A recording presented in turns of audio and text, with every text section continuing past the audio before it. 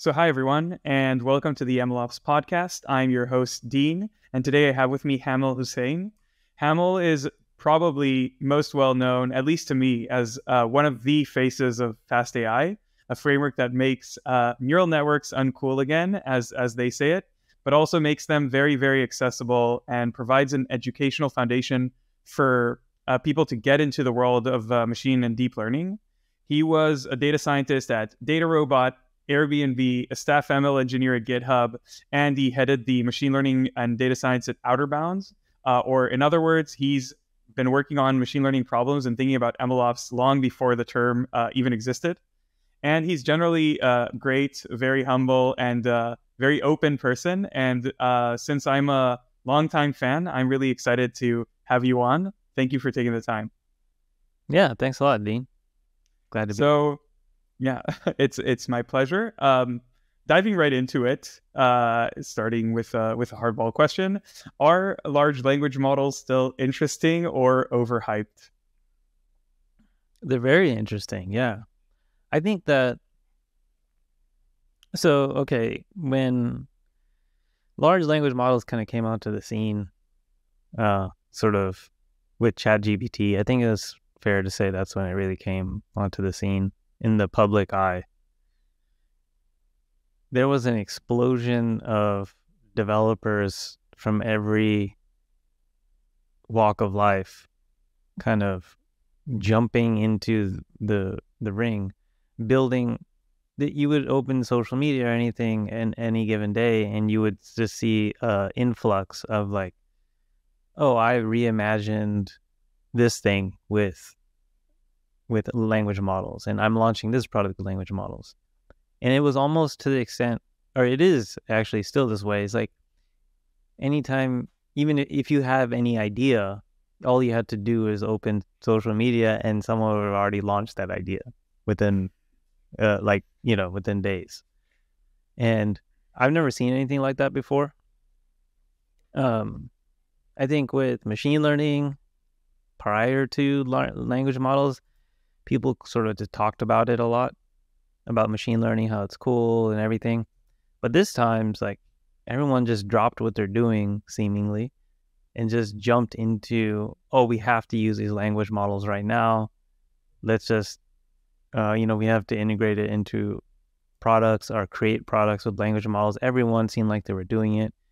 It was, it was quite overwhelming for being a developer. I think like some of the magic of being a developer is to try to find the white space somewhere.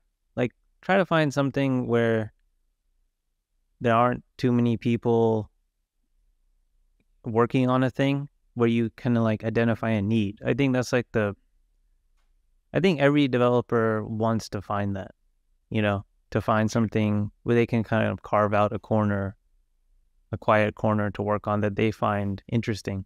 But I don't think I think like in a way it, it was pretty hard to find that in a sense with large language models. There was no quiet corner. Mm-hmm. It was uh, basically yeah, it was like it seemed like all of tech has descended upon that, and so in that way it felt there was some feeling of being overhyped but not in the not I don't think overhyped is the wrong word. There was some negative feelings among some folks that wow, okay, this is a lot of noise. Doesn't you know, people may have not felt like it was even productive to pay attention to the discourse around it as develop especially as developers. And then also also there's this feeling of like some existential um like angst more professionally, like where do I fit in in all this? You know, mm-hmm. because everything's moving so fast, so on and so forth. And so for some time, I felt also overwhelmed. I thought, where do I fit in in this language model stuff? It seemed like at first, it seemed like, oh wow, okay, like the people that seem like they're that you know that are best positioned to kind of take advantage of language models are people that are not machine learning people at all.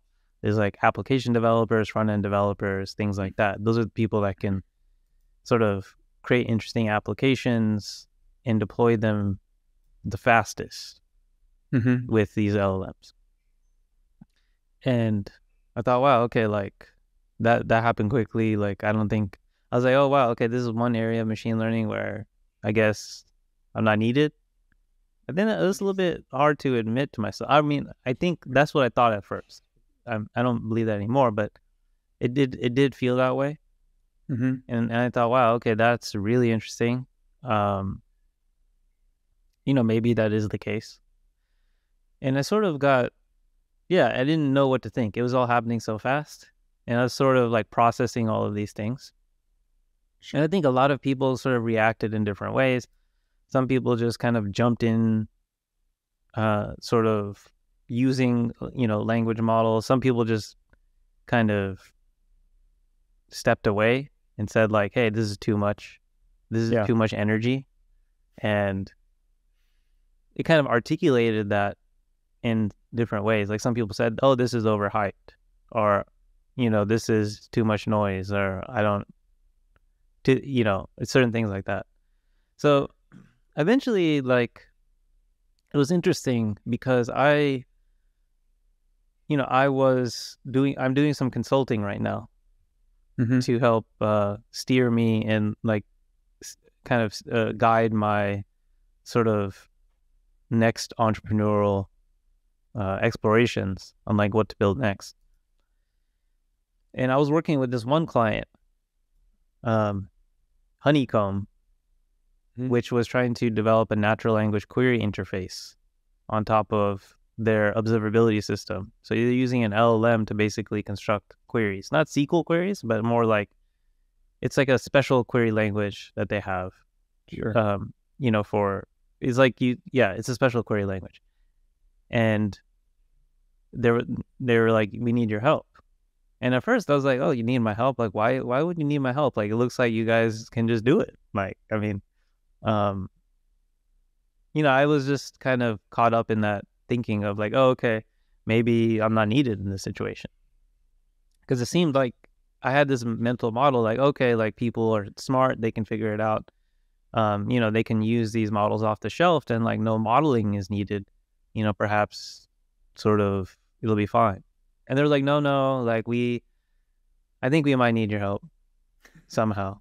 I, I, they're like, we don't know why, we don't, we, we're not 100% sure, but we we just want to consult with you and like discuss what we're doing. It's interesting. And so that was really interesting because like then I realized, wow, they really do need someone with the type of training and the thinking that machine learning people have. So uh, with Honeycomb, you know, they launched this kind of alpha, version of the product. They kind of took, uh, you know, they glued it, they glued this thing into their front end and sort of uh, made like a minimal viable product that can do this natural language to query uh, sort of uh, thing, you know, make this thing happen. Sure. And, um, you know, there was a lot of open questions like, how do we evaluate this model? Yes. And then also, how do we even, how do we go about making this thing work better? Which is tied into how do we evaluate this model? And um, I thought that was really interesting. So, we, for example, um, you know, so the, it was actually it's a really good use case. Like Honeycomb, since they are an instrumentation company, they are an observability platform. They did a lot of instrumentation on this particular feature. Sure. And so the question became like, okay, how do we measure this? Should we just do A B tests? For example, like one question came up like, hey, can we just do A B tests forever and just do prompt engineering and kind of do Mhm. things that way?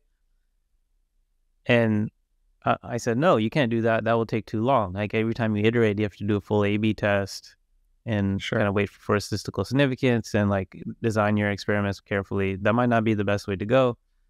Uh, you know, let's try to construct an offline data set that makes sense. Let's uh, let's define some metrics here that are proxy metrics that we have confidence in that sort of align with how we think this model or the answers that should uh, be given to users. And let's think like really carefully about the domain. Like, okay, we're going from we're going from like natural language to query. it's kind of like code generation. More, you know, it's a little more Yeah. of a constrained problem, more like Copilot, which is something I worked on. Sure. Um, so that has a number of advantages. You can test you can test that generated code in a variety of ways. You can introspect that code.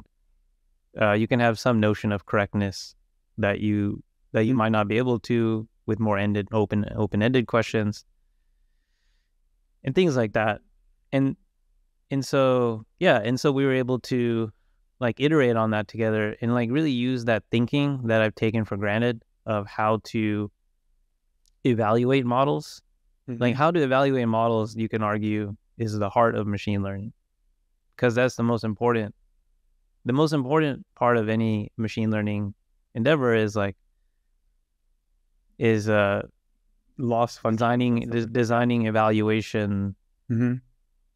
uh, the evaluation system carefully and and making sure that you get that right. Otherwise, it's like you can't iterate on it, you can't make any progress, and it doesn't make any sense because you. I mean, ultimately, you have to make sure your model generalizes, Mhm. uh, and you know the way to do that most effectively is to, and then the first in sort of the first line of defense is like really good uh, evaluation system, and so and so, yeah, I kind of it was so ingrained in my mind. I like took it for granted, like, oh, like evaluation system, that's not cool. That seems like everyone knows how to do that, but that's not really the case. Um, you know, I think this kind of thinking is really, uh, yeah, it's really drilled into you as a machine learning data science person of like how to do this, how to think about this, and then it's also all of these like nuanced skills of okay, like where am I going to get this data from?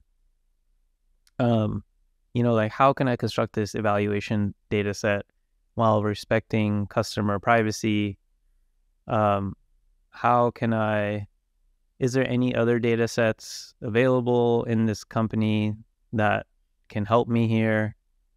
Is there any kind of other um sort of clever things I can do and these are the things that you do in any machine learning project, almost every machine learning project in the wild. I mean, you don't necessarily see these kind of challenges sort of in toy problems, but like you have Yeah. to reach for sort of these things a lot when you're, when you are, yeah, like doing applied ML problems. And so, like, just to kind of break it down a little bit more, when got to helping Honeycomb with, with this specific problem, you know, one really useful tool is error analysis. So looking at, you know, all of the different types of errors, like some types of errors are like customers flagging, okay, this this answer wasn't helpful, this query wasn't helpful, or other errors where it uh, the model returned invalid code, or other errors where uh, it was clear that people are trying to do prompt injection be very silly, like you know, give me a recipe for making pizza or something in this natural language query. There's all kinds of stuff going on, and kind of categorizing that and doing error analysis and seeing like, well, okay, what are the different kinds of errors and like what can we do about that? And then from there, you kind of understand, okay, this is how you might be able to build an evaluation system. You can ask a lot of questions like, okay, this is a expected query. Um, how many? What? Where are the degrees of freedom on the different kinds of queries that are quote right answers? And is there anything in common between these right answers? Like for example, we know that okay, there should be certain column names present in in all cases. Uh, and these like right answers have to have at least these column names. And you know, we kind of drilled into like all of these things and we're able to come up with and are still designing like these proxy metrics that will guide us, will able to allow us to iterate much faster and kind of uh, move very quickly. And this is the same thing that happened in Copilot. So Copilot, you know, when Copilot was first being worked on. So first of all, I just want to mention. Okay, I like I'm gonna stop for a second because I've been ranting on for a while. Let me let's. Uh, do you have any questions? Anything it's, it's super it's super interesting.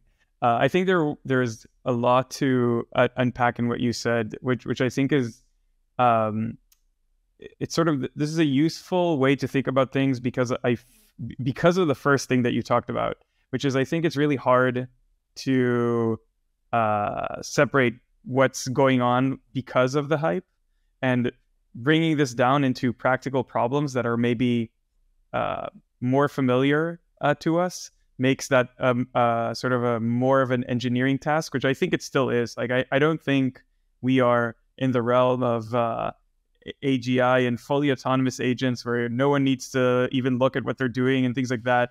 That's not where we are. There's still a lot of engineering problems in actually making this work for real products, uh, real products in the real world. Um, I, I, think that one sort of um, uh, distinction I, I want to make in case someone is th- that I think is important, right? That the the use case that you're describing is is sort of a co-pilot use case, right? Like uh, user is going to ask the model to perform a task and then uh, review the result of that model. Um, and then that's that's going to then sort of be fed into the system and, and hopefully get them a result. So it's supposed to save them time, but it's not like asking a question and then having the model go ahead and do something without anyone reviewing what it's what it's doing or, or, or something like that. And and one of the things I'm also I'm interested in, to hear if you have an opinion on is what happens in those cases uh, because in theory you could use them, right? Like the uh, I've been speaking with people who are working on uh, proper chatbots, where the idea is to have the chatbot replace a uh, financial consultant, a doctor, whatever. Um, and there you don't have oversight. Like you're training the model, you're putting it into the wild. Uh, there's a, a, stupid example of you know a sales chatbot, and then it offers all the customers the product for free. Um, but you could find more uh, life-threatening examples or or uh, or things like that. And and to me, most of the evaluations that we've seen are sort of comparing one model to another, right? Like those that are in public. Like, is GPT-4 better than Claude, or uh, what's the difference between the open source models and not open source models? Uh, but in the end, what you're talking about, which is sort of a uh, evaluation that's associated with a specific task and not a comparative evaluation, that's a thing that's going to define whether or not these models go into actual products. Um, and so, a I'm curious to hear if you have thoughts on doing these evaluations for cases where, in the end, the deployment is going to be like no one is reviewing the output, and uh, um, like how does that look in those cases? And then specifically, how did you um, how did you decide what a good threshold for deploying this in like the example that you gave what was a good threshold to deploy this uh, in the sense that a model might be uh, really, really good, but then have some catastrophic failure vector that you only realize later. So if you have any thoughts on mitigating that. Yeah. I mean, it's hard for me to like offer like a generalized playbook at this point. Um, you know, because it's still pretty early. But what I can say is, you know, you have to think really carefully at, at least at this point, it's helpful to think very carefully about the specific problem and sort of the, yeah, like the temperament of the company you're working for or working with. In this case, you know, they had already shipped some initial version. And so any incre- you know, incremental improvements here on out are, are welcome. And some principled approach to achieving that are welcome. Mm-hmm. Um, so there was not, there's not necessarily, in this case, it's not necessarily a threshold or anything like that. It's just, hey, like you want more visibility into, and you want like a, an approach to how to think about how you might iterate and say, because like it's a process. Like you have all these, you know, you have a certain class of errors, but of course, as you iterate on this product and it gets better, you will uncover like completely new types of errors that sure. you didn't have observability into before. As people trust your this product, they will be more ambitious in how they use it. Um, and so um, it's a constant process of like, you know, having these things sort of, uh, you know, like a human in the loop. I'm not too sure about like complete, you know, this AutoGPT, like a situation where there's no human in the loop at all.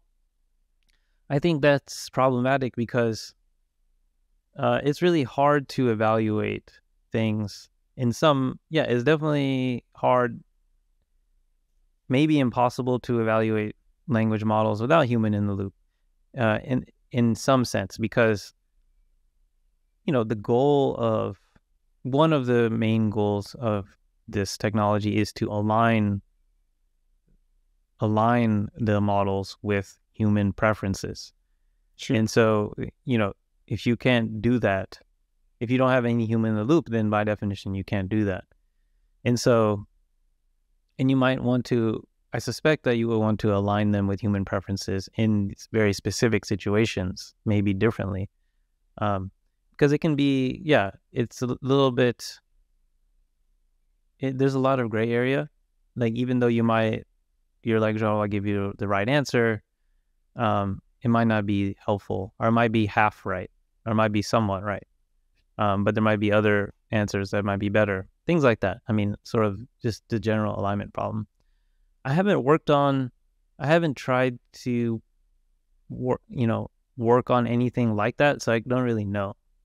Mhm. Um, all I can say is like, if I were to work on something different that was more open ended, I would probably still reach for error analysis and try to come up with proxy metrics and reference metrics that correlate somehow with uh the things the the things that people care about Fair enough. and I, and I think it's possible i think that you know it might take some creativity might take some digging around it's i don't think like you know i can just say okay like these are the metrics you need and just use this python package and it will just do it for you i'm not i don't think that is a is a thing so Yet. yeah, but I'm not sure if it's a thing. Um, but I haven't thought super deeply about it. But yeah, I'm not sure. Like, there's no. uh, Yeah, I mean, there's no. Because if you go back to classic machine learning, for example, there's not really like tool. It's a, a process is just important as tools. Like Sure. there's no tool that will solve data quality for you uh or level like do you know really good anomaly detection always on every case for you you know you still need to sort of have some good processes Sure. I, I, I guess in, in the like in the case that you did solve for, and by the way, um, I didn't know that you worked with Honeycomb, but they uh, published a really really good blog that I read. Uh, I think it was yesterday or the day before uh, about sort of the problems or challenges with uh, using LLMs in production. I'll add the link in the description, but I think uh, if if uh, the audience is interested, which I'm guessing they are, they should read it. It's uh, well it's well written and sort of uh, articulates well a lot of the the challenges around this. But I guess if you can share, if this is not like secret, if you can share a bit more about the process of building these metrics, like did you just end up, you know, building a test set, and the challenge was just deciding what tests, sh- uh, sort of what test examples should be in it, or was there like a, something more unique because this is a generative model or or something like that? I don't know. Hmm. yeah we're still building the test set actually like you know building the test set is non-trivial it's like okay what customers do we build the test set from what Mhm. uh everyone you know what schemas what what is uh what do people's schemas look like you know there's a common set of schemas that kind of are associated with this thing called OpenTelemetry which is this common standard of uh logging observability information. So it, it it's kind of you know all these considerations like do we do we use OpenTelemetry and kind of bootstrap from there and like solve for that? And then once we do have this test data it's important to be able to execute these queries that the system is Mhm. generating or be able to go back and debug the queries say hey this is the query that was that was generated the customer either you know marked it as thumbs up or thumbs down we want to be able to programmatically generate or uh, execute those things. Where do we execute that? Do can we execute it on the instance, on the customer's instance? You know, maybe not. That might not be good. Um, you know, what From a are the security perspective or for, for from a resource perspective, security perspective, you don't want to interfere with what they're doing necessarily. Um, you know, how do we think about that from a product perspective?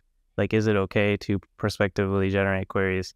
Maybe we need to, you know, so like there's this ongoing design problem. Like, do you have a proxy data set that you source from somewhere else that is like similar enough? How different is that? Is that representative?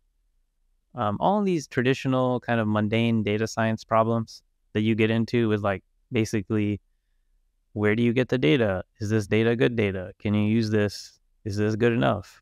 Um, you know, how are you going to build sort of some tools around this and build like an evaluation system?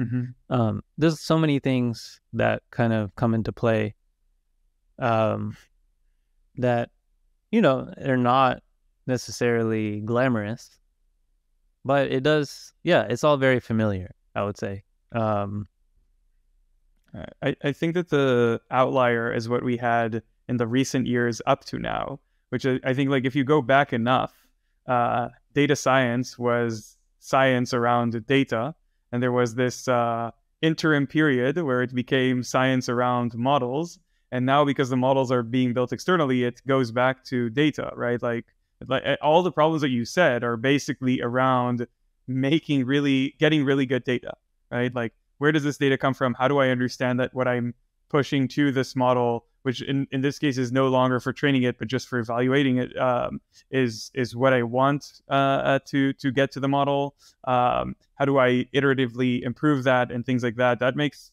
um, that makes a lot of sense. I feel like in a sense, again, if you if you abstract away what this data is going into, right? The maybe this work is closer to what happened to, to what would be sort of the case I don't know, before 2012 uh, or, or something like that. Yeah. Um, and you have some, yeah, it's, it's important to also have the end in mind. Like you have some ideas that you want to try.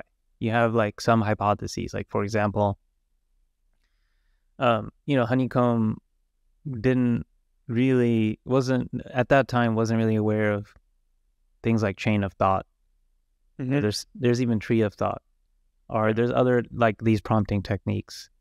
Um, you know, there's also techniques. So there's also this feeling of, okay, you know, using off the shelf models like GPT-4, but if you if you look at it closely, it's a you know, it's generating code. And it's not it's it's constrained it's a constrained enough problem where it's generating code for basically like a low resource language that probably GPT-4 hasn't seen any of or not much of this honeycomb query language. Mm-hmm. And, um, you know, my feeling is that, okay, perhaps train, you know, fine tuning an open source language model against lots of examples of that might work. Um, because right now, what they're doing is they're shoving the entire query spec into the system prompt mm-hmm. to try to give the every call to language model contains the entire context of and try to uh, entire specification of the query language. And you know, it's kind of like Copilot. Like you don't wouldn't want to do that for a language. You know, you want mm-hmm. to train you you know this you would it's like a new programming language. You want to kind of let the model see a lot of examples of that programming language. And so where do you get that from? So like, you know, just like a data scientist would do, you have to kind of understand everything about their business and their product and try to be creative in like where you can source this data. So, like for example, um, in this case, you know, customers save queries. Uh, they call it mm-hmm. named queries. You can just save your favorite queries and you kind of write a name or a description. And so, like that's a really interesting set of data where you can sort of turn those into question query mm-hmm. pairs you can have a language model turn that name or that description into a question. And you can, you know, that's one thing that I really want to try. Um, and you can sort of not only have just one question, you can have like many variations of that question, hopefully that mean the same thing. And then you can have examples of the query. Um, you can also try to see like what are the most popular queries, especially in the cases where the schema is is uh, this like standard schema, this OpenTelemetry schema. Like if mm-hmm. you, what's the Pareto of those queries? Like are they like just really popular queries that are uh, sort of the same? And then can you, once you know, can you build question answer pairs from that? You can use like a you know a language model to do that, and then like sure. use that for a data set, and then somehow either you and then you know also um, you know, some of these queries, you know, they have a very specific syntax. So there's all these like interesting techniques that are kind of out there. Um, one is like, okay, you can put a sort of uh, something on top of the DD uh, decoder that kind of clamps Mm-hmm. the model to make sure that uh, it follows a specific syntax. Like you know, like it's valid. J- You can force it, force valid JSON. You don't have to like wait till the end. Uh, you know, Mhm. it's it'll guide the model. It'll say, okay, this next token has to be a comma. We're just going to make it happen. You know, instead of like waiting and sort of re rehashing that. So there's a lot of opportunities, perhaps, for open source models. And I'm not, I don't know if it'll work, but the idea is like you ha- you you know it's kind of the same thing as being a data scientist. You have these other hypotheses, things you want to try, things you think might work, and you want to keep all of that in mind for when you design this evaluation system or when you think about evaluation system because you want to be you have want to be able to enable all of that in addition to like you know prompt engineering and things like that and so it all comes into play a bit and Mhm. yeah it's um it's really interesting i mean i was yeah again i was surprised i took it for granted that this way of thinking or this knowledge was valuable or even unique i'm sure it's not 100% unique i'm sure like there are engineers out there that you know kind of have a good intuition for how to do this or maybe Sure. but it is definitely uh, something that I think machine learning people come trained out of the box for. And then, you know, also, yeah, I, I do tend to try and keep up with a lot of the research or more the applied stuff rather on like how to use language models effectively because I'm just interested in that. And you know, all of those things that you might, uh, you know, because yeah, if you're a machine learning person, you might have done that in a correlated way with like models, you know, architectures, things like that. So it is interesting. Um, yeah, I think that there's a lot of space for machine learning people, and then more generally speaking, beyond the stuff that I just said, I do think that open source models are going to be going to be extremely valuable and will start to approach uh, the capabilities of these proprietary models. And, you know, then that's back into classic machine learning, machine learning ops land. Like you're going to fine tune, you're going to source mo- the data, fine tune models. You're going to have to, again, like measure the efficacy of these models in various ways.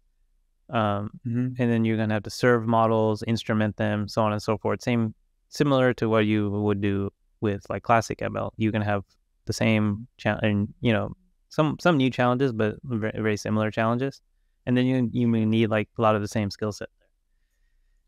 Yeah, I, I, I think that the some of the things that you uh, mentioned, like uh, chain of thoughts and uh, and tree of thoughts, and all of them, I think uh, I'm not sure actually if React is one of them, but there's a lot of the sort of um, I don't know how to call it uh, specialized tools for uh, LLM manipulation, which if if I sort of take a step back and look at and and look at this from from afar and maybe squint a bit, it seems like it that's more of an engineering task. Like it's adding a bunch of glue code. Uh, glue. I, I'm saying that. I hope that doesn't sound to anyone like a derogatory term. I'm a I'm a glue code fan.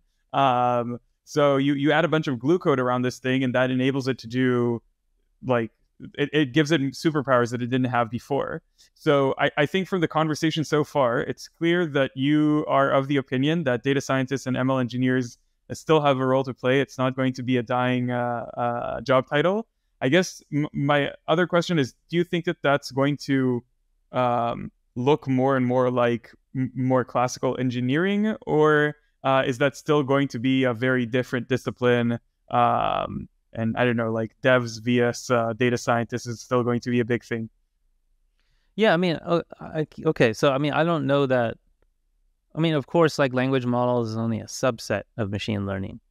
Mhm. So in that sense, yeah, I don't think the field is going to become be eviscerated completely or anything like that. So, some people do think that, Uh, so I think it's, yeah, it's some people worth think that, yeah. stating.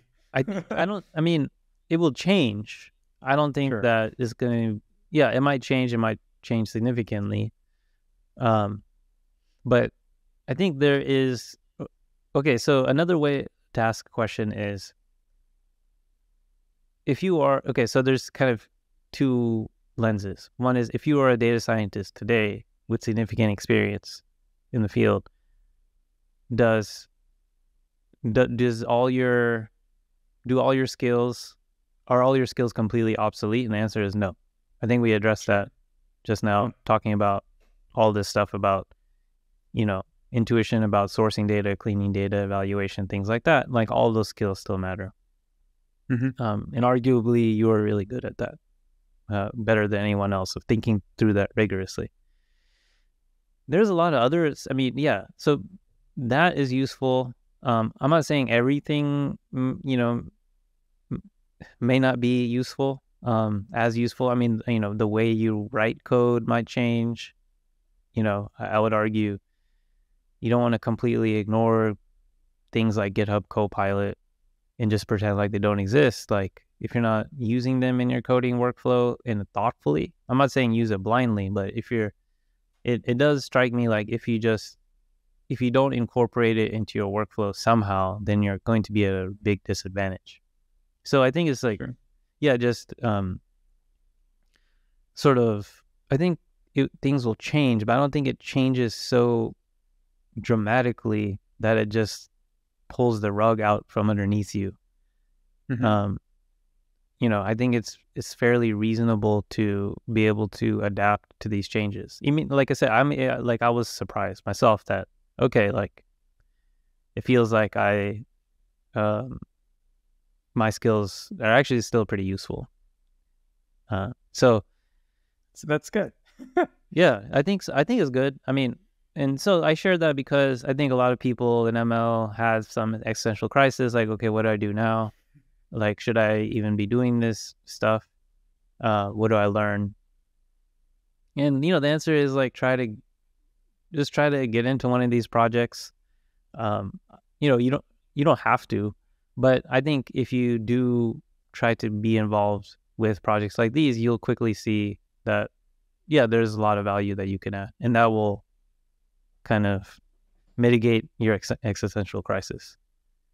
No, that's um uh I think there's an entrepreneurial term for that, which is uh, running towards danger. So if you if you feel like ChatGPT is is going to replace you, try doing a serious project with ChatGPT and seeing uh, see what what you get out of that and and where the obstacles are.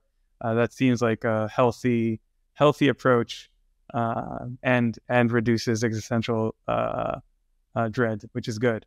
Um, I, I guess like from one sort of thing that I find interesting in, in this entire story is is the way you were thinking about this before versus after you were approached to sort of uh, help out with uh, the honeycomb problem. Um, I, generally, I, I feel like I guess in, in your like me following you and, and the the content that you create, I think you have a relatively un- relatively unique way to think about uh, machine learning, MLOps, um, and and solving these problems. I, I'm curious, like, um, if you can maybe share your process a bit for doing that. If there's someone in the audience who sort of wants to learn and feels the same way that, that I do, like, how do you go about solving MLOps problems? How do you go about solving these uh, or thinking about these problems? Yeah, I mean, I don't think there's that much secret sauce. I think just generally speaking, I try to keep it simple.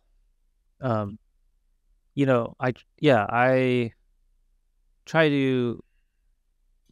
I think that's like an important principle. Is okay in classic machine learning. I even say, don't do machine learning first. Like try to do solve the problem without machine learning. Uh, that's your first uh, like iterate. That should be your first point of iteration. Like, and that's what I mean by trying to keep it simple.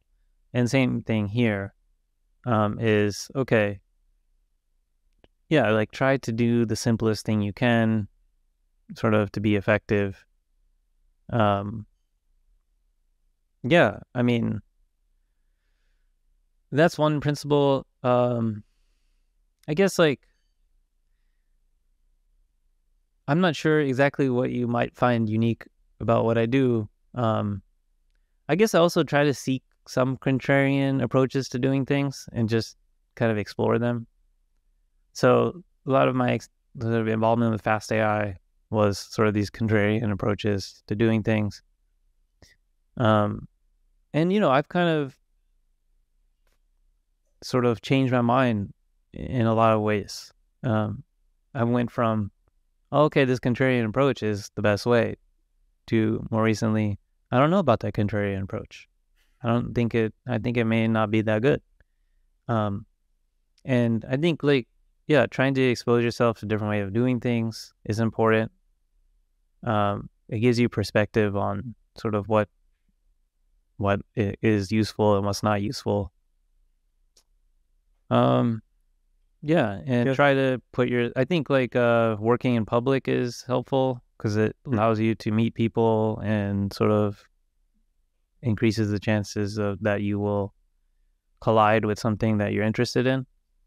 Mm-hmm. Um, those are some things I can think of. I don't know the answer to the question, but no, that's those are all all good, and also a good segue into something that is sort of a step back that I, I wanted to ask. But I'll, I'll just uh, note that I think uh, working in public or in general being uh, like working in public is a, a sort of a methodical, forced way to uh, get feedback from external sources uh, and put yourself out there, which I think is is sort of the uh, underlying important thing. Um, it it means that you have to formulate your thoughts and opinions in a way that they can be accessible to other people. Otherwise, it's just going to um, sort of not promote useful conversation. I think this is part of, of what I like about the, the things that you you write and you share on social media and things like that. So so these are all uh, great tips. I, I think like at least for me, I'm, I'm curious to, to hear this. And I don't think we discussed this in the past, uh, but like uh, I'd love to hear. Uh, maybe this was this should have been the first question I asked, but uh, if you can share how you got into fast AI and uh, generally like what was your path in machine learning up to now? Yeah. So yeah, how I got into fast AI. Um, yeah, it was kind of in a very uncool way. So basically, I was working at GitHub, and GitHub came out with GitHub Actions, which is like a CI CD tool. You know, up until that point, I was like, didn't really understand CI CD tools that much. I was like, oh, this is pretty cool. Something automated is happening when I like open a PR, they do these tests. Didn't really like ever look into it or understand details. I was like, oh, okay, I work at this company. Yeah, I should check it out because it seems like could be useful for a lot of things. We like automate stuff on repos. I should that sounds like could all use that every day. So like really dug into it. I was like, oh, this is cool. Um, you know, I really think I can automate a lot of stuff that I wasn't aware of. And so I just started helping Jeremy like with all his CI CD because he didn't have any, or he had like barely anything. He had like the bare bones. Okay, like just whatever. And so I was like, okay, I just started to do all this DevOps stuff, like all these tests, set up like more robust test everywhere across all the repos. Um, like, you know, built it's like the Docker containers for all these different projects that people could use. And then I tried to like, then I actually took it to the extreme. I tried to build a static site generator based on GitHub Actions. I did build a static site mm-hmm. generator based on GitHub Actions. It's basically like you save a Jupyter notebook into a folder in a repo and it like creates a site. It's creates a blog post like just from and that was called Fast Pages. That was like sure. with GitHub Actions like automating the whole thing, and it was kind of crazy. Like it was like you you fork that repo and then it automatically opens a pull request on it to set it up for you. And then there's like an upgrade path where you open an issue on your own repo, and then we would make a pull request from the base the base repo upgrading to the newer version of Fast Pages. All these like crazy actions nice. went kind of overboard. Anyways, that was cool. And then, uh, yeah, and then like, you know, I started to like look into NBDev because like, because when you set up tests and do all this DevOps, you got to understand like how the software works because you have to test it. You're like, why is this test breaking? Like, how do you set it up? Like, what is it? So it's like, what is this NBDev? So it's kind of crazy. It's like, oh, cool, you can uh, do notebooks. And then there's another project called FastCore, which is basically a Python language extension. So this is a very deep rabbit hole getting into all these different things. It's like, oh, okay, I just trying to D, you know, CI, but then end up like exploring this sort of Python language extension and then this new software development framework that Jeremy is using, extremely idiosyncratic. And sort of I went in this deep rabbit hole, and started like getting into that, and contributing to that. And then yeah, then uh sort of got sucked into that in a way, in a good way. And yeah, I became really fascinated by it. I was like, wow, this person is using basically their own their extensive uh, tool chain that is mm-hmm. extremely idiosyncratic. And I thought it was like fascinating because I like to think about, I'm like really fascinated by people and like what makes them like things that might help them make uh, or help them be effective. And I thought, wow, that's super interesting. Like, I'm going to study that for a little bit. That's awesome. I I guess um, I, I don't know if uh, earlier when you said uh, contrary having contrarian views for the sake of having them and then figuring out whether or not they make sense. Uh, I, I'm curious if this was one of or the main thing that you were thinking about, but like obviously, uh, or at least to me, FastAI and and uh, Jupyter notebooks are are almost synonymous, uh, even though it's not it's not the hmm. same uh, creators or anything, but it's very very tied. I, I'm curious if if uh, notebooks uh, and and their sort of applicability or where they are applicable uh, is one of the contrarian or is, is, something that you would define as a contrarian view that you hold or held or something like that. Uh, or if it's not that, I'm curious which contrarian views you used to hold and and now don't anymore. Yeah, like, let's talk about the last part.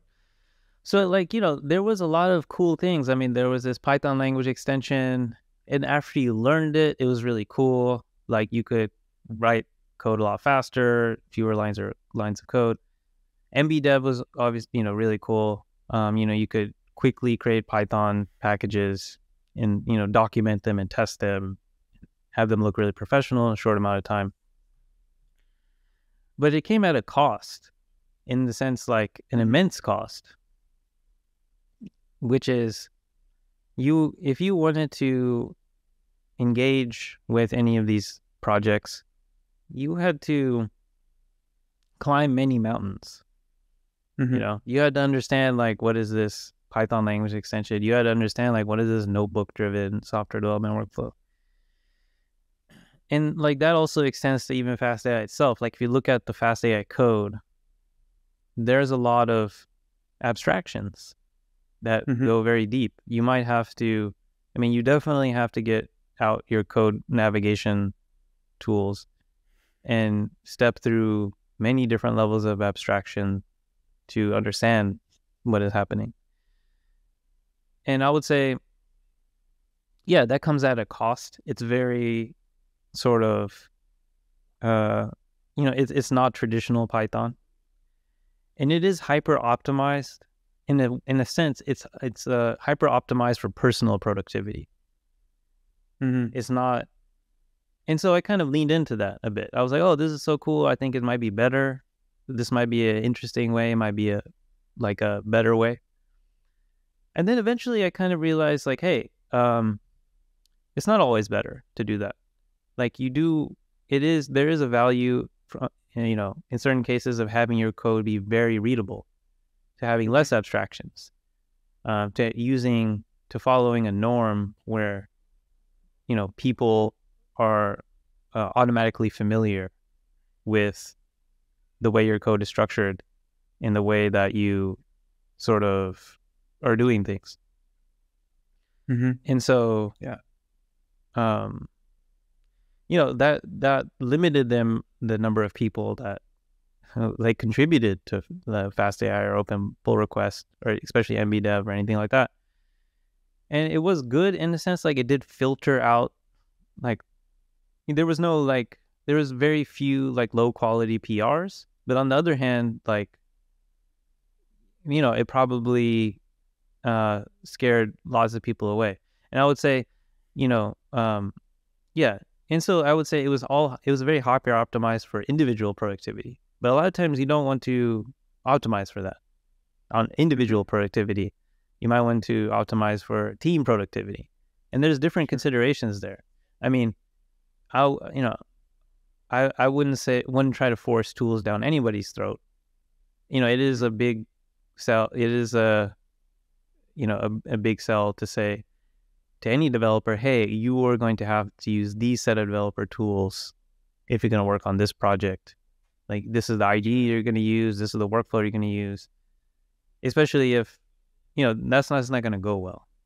So there's there's definitely trade offs, and I guess um, yeah, I, I became more sort of sensitive to those trade offs over time, and I would say, yeah, like I, I'm not sure like some of these things, it, it you know are are good in every situation, um, and I realized like okay how why they might not be desirable. And there's certain choices like made, yeah, there's a lot of choices that are made you know, like for example, every FastAI project, the bleeding edge of is the only stable version.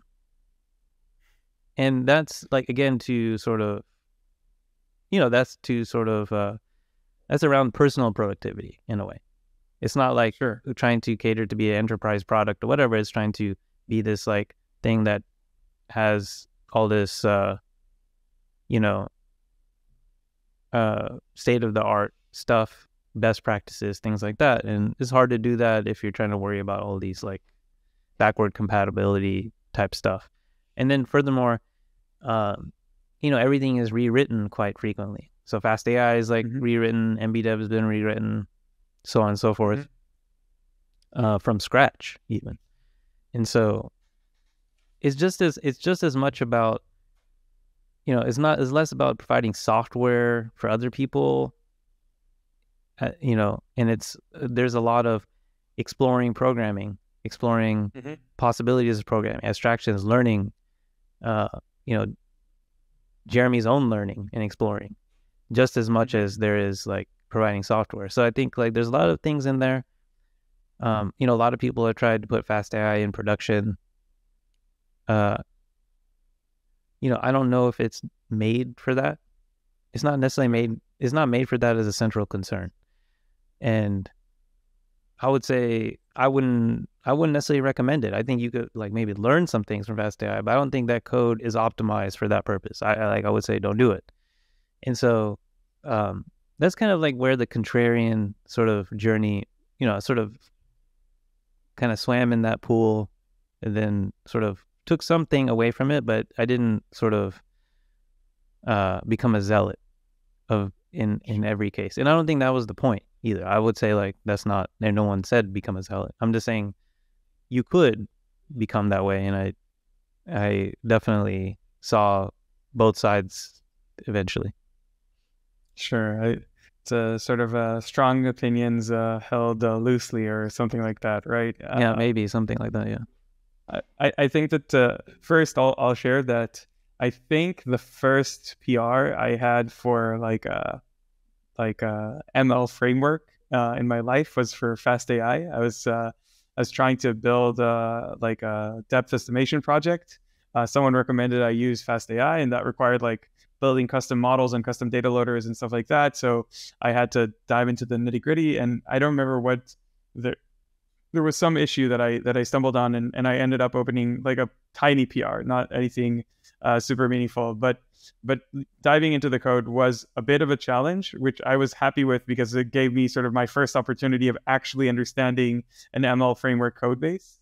Um, but but I think that the the way I'm I think about this today is there's sort of this uh, convenience versus flexibility spectrum, and then there's uh, um, a sort of are you building something that is aimed at only end users and no one is going to look underneath the hood except for you and maybe a few other people that you know? Or do you expect the average person to need to look under the hood? Um, and then those two sort of uh, one question and one spectrum dictate uh, in many cases like how readable the code should be uh, what languages or frameworks you should be using um, how, how standard should it be versus like reinventing the wheel and things like that um, so I think Fast AI like chose a place on that uh, on that spectrum. To me, the the reasoning and uh, this is how I look at this right now. I don't know if you think about this the same way, but the reasoning was that Fast AI in many senses was an educational tool.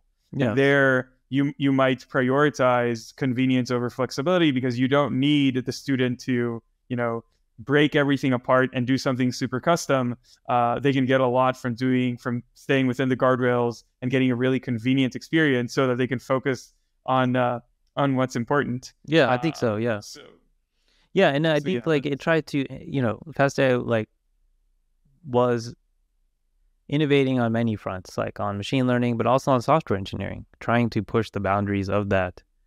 And so it was simultaneously doing all of these things.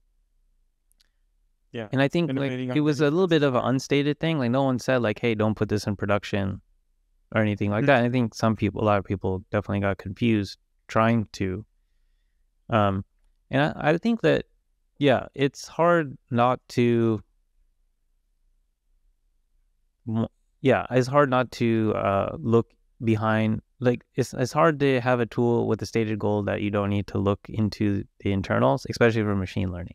It just doesn't Sure. It's it's a that's a really tall tall order. There's a guy. There's a so a lot of people came and went through Fast AI that have like been through this uh sort of same journey. I'm not unique. Sylvain Mhm. uh Sylvain Gugger he he co-authored the this uh, book with Jeremy. He went on to work at Hugging Face. Um, you know, at Hugging Face, he's not using any of these uh, this stack at all for transformers. He's like technical technical lead for the transformers. He's not using NBDev or anything like that. And he kind of went the other direction and said, "Hey, I want this code to be readable. It's okay if you repeat certain things." I, you know, kind of like bucked some of the trend there.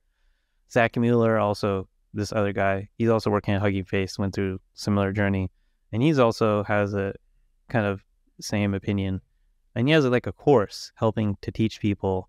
Okay, like went through if you went through Fast AI, like this is how you can think about uh, how production and you know applied work might be different. How you might want to change your code or use different tools uh, and things like that. Yeah, Zach was the PR reviewer for my contribution a gajillion years ago. Um, yeah, that's uh, I I think that a lot of really great people have worked on Fast AI, which I think shows uh like even that just shows something uh in, in my mind. yeah, Um, yeah, it's a great. It's like it's it's, good actually a good sort of- community. It's like a really nice people, and yeah, one of the few places on the internet where there's low toxicity. yeah, yeah, I think that's uh it, it was unique at the time. I think it it it it sort of uh has a warm place in my heart and and it's uh interesting interesting uh sort of framework uh, to use and fun also.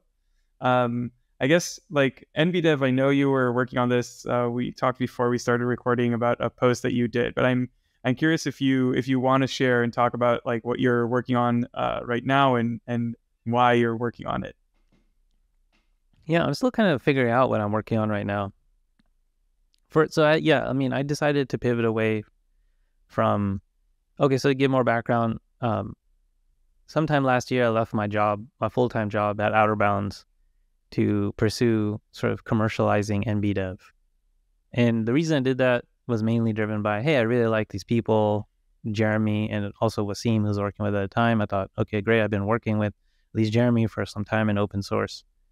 I thought, okay, like it really doesn't matter. Like, um, you know, you wanted to build a company around something, then build a company around it. Like, Mhm. um, you know, I'm cool with whatever you want to do. Um, I didn't really understand. I didn't really know what we would, how we would try to commercialize NBDev.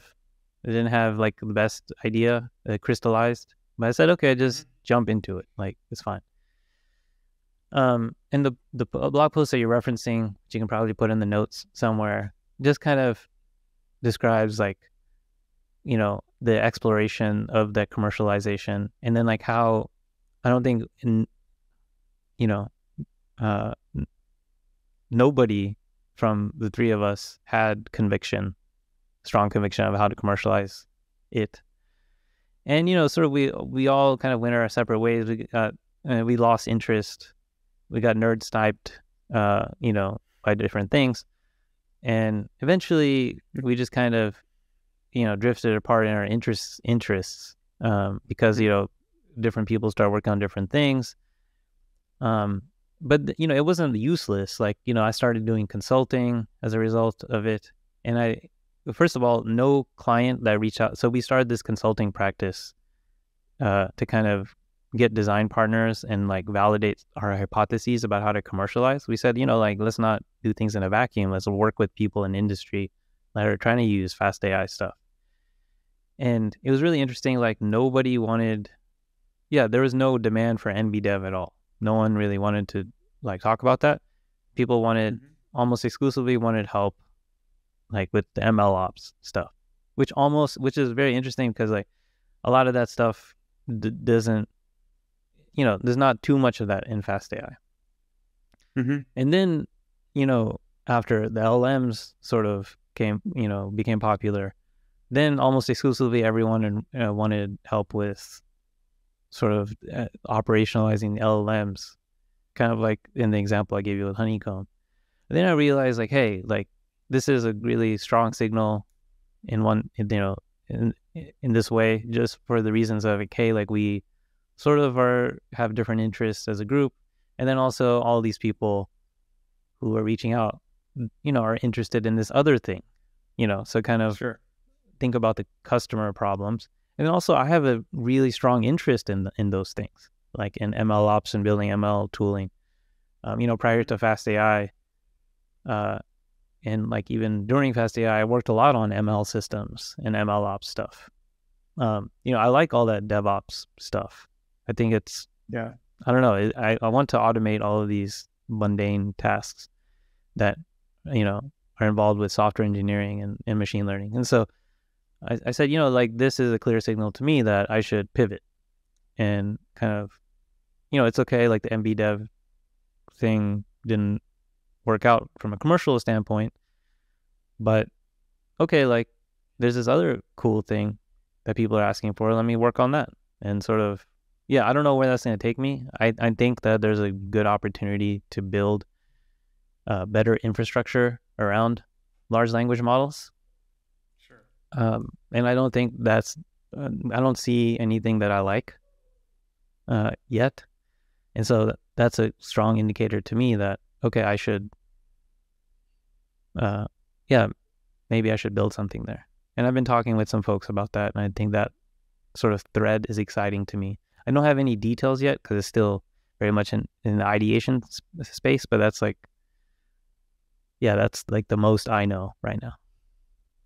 That's good. I, I think that that's um, in in a sense that's sort of the archetyp- archetypical uh, entrepreneurial, like healthy entrepreneurial journey, right? Like you have ideas, then you meet reality, and reality takes you in different directions, and hopefully you have your ear uh, enough to the ground that you can see like where this is uh, where this is coming from, where this is going, and then and then you can adapt, right? Like you, you don't you don't want to love your products. You want to sort of uh, uh, participate in this journey in an open-minded way, and hopefully, really find a problem that's painful that you can solve. So, I, I think that your comment about infrastructure was sort of an understatement. I think that there are is barely any uh, infrastructure around operationalizing uh, LLMs right now, if you exclude the you know APIs themselves for the models.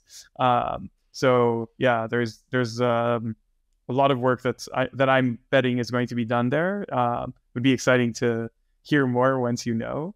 Um, I think this is sort of a awesome note to end on. So I'll ask the last question I ask every uh, guest on this show, which is any recommendations you have for the audience, and it doesn't have to be related to data science and machine learning.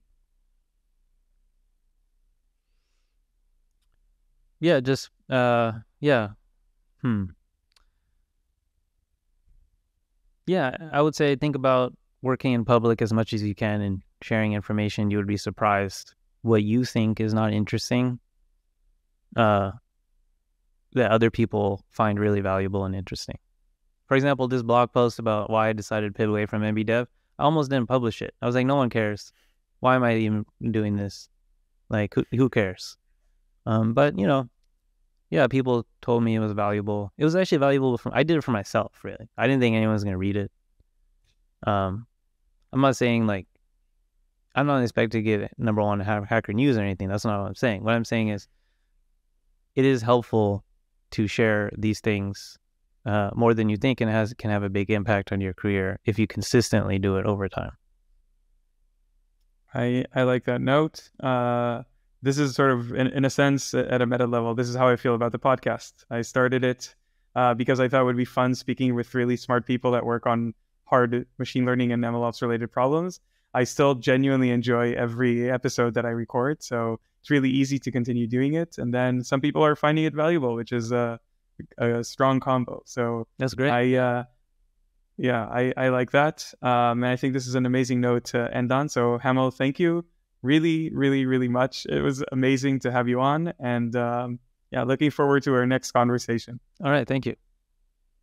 Bye, everyone. See you next time. Thank you for listening to the MLOps podcast. If you enjoyed this episode, please like the video or subscribe. If you have any feedback, leave a comment below. Thanks again for listening and see you next time.